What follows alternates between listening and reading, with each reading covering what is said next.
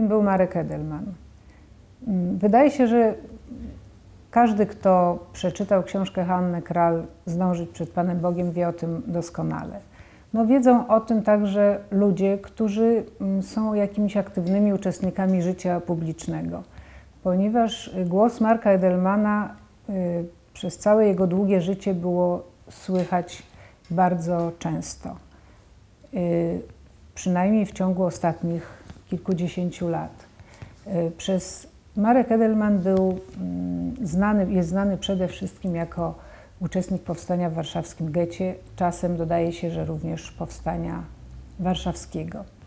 Y, ale to był bardzo krótki czas w jego życiu. Natomiast to, co o nim możemy powiedzieć, to i co składa się na jego wielki dorobek, to cała działalność ostatnich, ostatniego, tak się zastanawiam, ile to było lat, no przynajmniej 30-40 lat.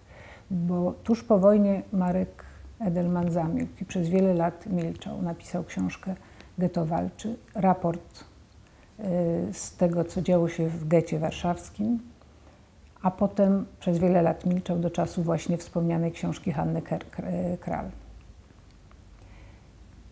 Mm, trzeba, mm, trzeba pamiętać, że wartości, które popchnęły go do uczestnictwa w powstaniu, do zaangażowania się w ten ruch młodzieżowy, to też ważne bardzo, że to była grupa bardzo młodych ludzi. Y, to były wartości, z którymi on się wychował, ponieważ był przez całe życie poprzez swoich rodziców, na początku, a potem sam związany z żydowską partią socjalistyczną Y, pod nazwą Bunt.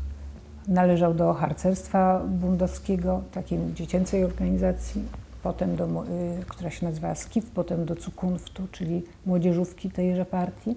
I jako Cukunftowiec właśnie wszedł w skład y, żobu, komendy żobu. I wydaje się, że to, czego on, czym nasiągł w bundzie, stało się jego credo życiowym i w, e, po, w okresie, kiedy w Polsce zaczęły się przemiany, jego, jego głos było bardzo dobitnie słychać, nie tylko w Polsce, ale właściwie na całym świecie, ponieważ zajmował się, zajmował się nie tylko polskimi sprawami, a interesowało go zło, które, które zdarzało się wszędzie, a ono niestety się ciągle zdarzało. Po wojnie Markowi Edelmanowi jego przyjaciołom i wszystkim, którzy przeżyli tę ten, ten straszną wojnę, wydawało się, że to się już nigdy więcej nie powtórzy. Że nie powtórzy się Holokaust, nie powtórzą się okropieństwa wojny. Wydawało się, że to będzie przestroga, ale tak się nie stało, ponieważ y, zaczęły do nas docierać coraz y, liczniej wiadomości o Kambodży, o Biafrze, o y, o walkach Hutu i Tutsi. O, straszne rzeczy działy się w byłej Jugosławii. I to sprawiło, że Marek Edelman znowu zaczął zabierać głos. Y, myślę, że w jakimś sensie był nawet znany bardziej na świecie niż w Polsce przez jakiś czas, ponieważ, ponieważ tam ten głos był bardzo wyraźnie słyszany, a w Polsce tylko przez wiele czasu tylko w, w tym podziemnym obiegu. Co więcej można powiedzieć o Marku Edelmanie? E, dobrze charakteryzują jego, jego postawę życiową wypowiedzi, które, których wiele publicznie wygłaszał. I myślę, że najlepiej będzie, jak przytoczę parę takich cytatów, e, które wydają mi się bardzo znaczące. Bo Marek Edelman mówił o wszystkim, co dotyczyło człowieka i zawsze podkreślał, że najważniejsze jest to, żeby być ze słabszymi, prawda? Że niezależnie od tego, kim jest bity, trzeba z nim być, trzeba dać mu mieszkanie, trzeba go schować w piwnicy, trzeba nie bać się tego, żeby być przeciwko tym, którzy biją.